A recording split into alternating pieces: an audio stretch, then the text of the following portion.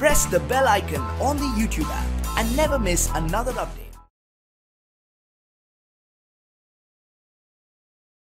Welcome to Asia Business Report. I'm Sharanjit. Now, India's Prime Minister Narendra Modi is in Washington for his first meeting with President Donald Trump. India-US trade ties have grown substantially, but with rising protectionism and a crackdown on visas for Indians, it's harder for Indian companies to export their services as well as goods. Shilpa Kannan has more from Delhi. Hoping to get American attention one stitch at a time. These products are headed to the US, one of the biggest markets for the garment export industry here. Some businesses fear that India is no longer a priority for Washington, but they hope Mr. Modi's visit will improve conditions.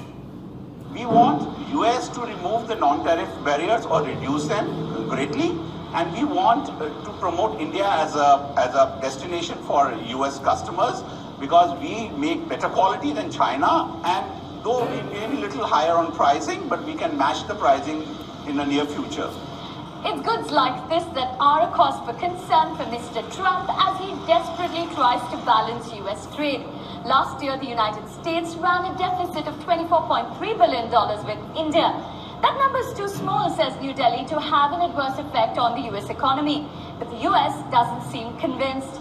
So the issue is likely to get a lot of attention during Mr. Modi's visit.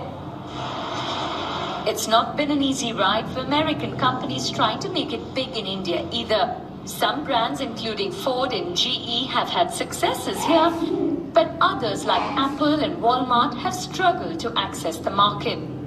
I can be great product manufacturer, I can have the finest technology, but I need the consumer. So it will be silly for consumption company like, uh, country like the United States not to look at India, which is the largest consumption market, right? So Indians used to eat out once in two weeks. Now we eat out once in a week. We'll come down to once in three days, right? Look at the multiplication this country is doing. Nowhere in the world. This fast food chain is one of the many American companies that still want a bite out of the Indian market. Carl's Jr., best known for its oversized burgers, is competing with others like Burger King, Wendy's, and McDonald's. The competition hasn't deterred investors who are steaming ahead with expansion plans. India has a lot to offer American companies.